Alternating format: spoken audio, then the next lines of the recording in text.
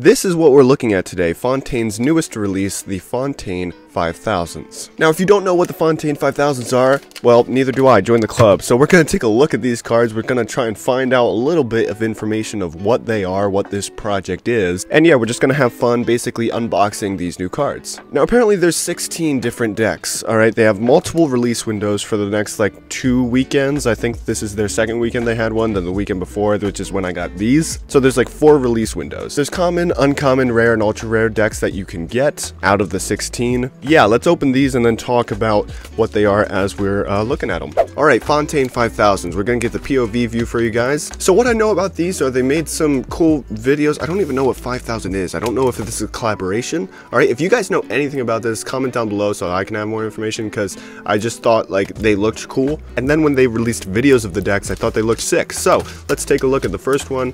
Um, yeah, 16 different options. I have no clue any of the names or what they look like. But I have seen this one. I think. Ooh. I like that back design. The videos that I did see, they had like four different decks they showed.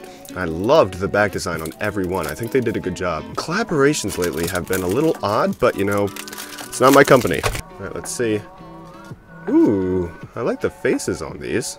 Oh, they're all red. Holy cow, that's trippy. I like it though. Oh, wow. That's really neat. I really love that actually. Um, the yellow and the blue, I, again, I usually don't like anything but white borders, but I'm digging these. I don't know what edition this is. Um, this is the, the Fellow, so one of 2,000. So that would be an uncommon deck. That's pretty good. I mean, I only got two decks. I wasn't expecting to get like a rare or ultra rare, but the Fellow playing cards by Fontaine. I like them. All right, next one. I should have got more, honestly. Oh, shoot. What's this one? Oh, this looks cool. What is this? It's like a candy cane. Whoa, one of 3,000. So this is common. This is the USA. Wow, that's very patriotic. Bold choice, not gonna lie. Let's get these popped open. Anyway, this is the USA deck of cards. Let's see the back. Ooh, I'm digging it. I'm high-key digging that. Let's see the faces. The faces are standard, which, thank you. Um, I'm glad that they're standard. Jokers are interesting. Oh, is it kind of like the USA is a joke? Is that what they're trying to go for? I'm confused of what they're going for here, but I really dig the uh, back design. Ah, it's a one-way, bro. Dadgum. I would have loved this deck if it was a, uh, a two-way.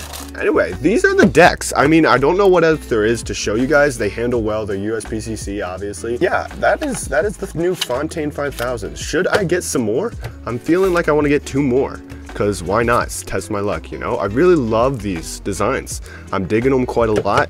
Um, I don't know what the 5000 is. I don't know what it means.